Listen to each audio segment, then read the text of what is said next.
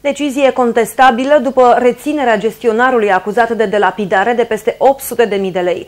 Angajatul de la Electrocentrale Turcenii a fost arestat preventiv de judecători pentru 20 de zile. Dacă nu va contesta decizia și nu va scăpa cât mai repede de cătușe, bărbatul din Turburea riscă să-și piardă și locul de muncă. Acesta este suspectat că, timp de șase luni, ar fi întocmit în fals mai multe rapoarte de necesitate pentru a acoperi lipsa a peste 100 de tone de motorină și a unor bonuri valorice de peste 50.000 de lei. Ați prejudiciat compania? Chiar dacă nu a recunoscut fapta, procurorii au decis să-l prezinte pe angajatul complexului energetic Oltenia și în fața instanței. Dispune arestarea preventivă a inculpatului cercetat pentru săvârșirea infracțiunii de delapidare și fals în înscrisuri sub semnătură privată, în formă continuată pe o perioadă de 20 de zile. Cu drept de contestație în termen de 48 de ore, au decis magistrații. După ce și-a pierdut libertatea, suspectul riscă să rămână și fără locul de muncă. Dacă această decizie rămâne definitivă, dacă măsura arestului preventiv să prelungește mai mult de 30 de zile, se va trece la desfacerea contractului individual de muncă.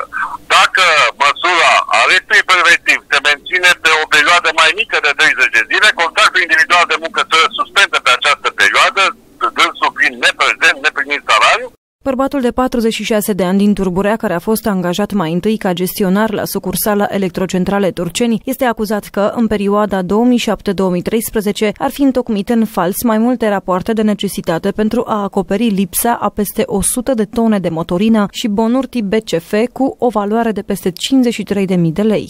Ancheta administrativă cu privire la o abatere disciplinară nu se poate face după ce au trecut uh, șase luni de la comiterea faptei.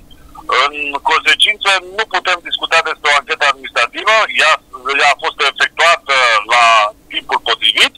Uh, urmează ca organe de cercetare penală să-și continue ancheta și, sigur, judecătorul să dispună uh, care este sancțiunea pentru faptele săvârșite.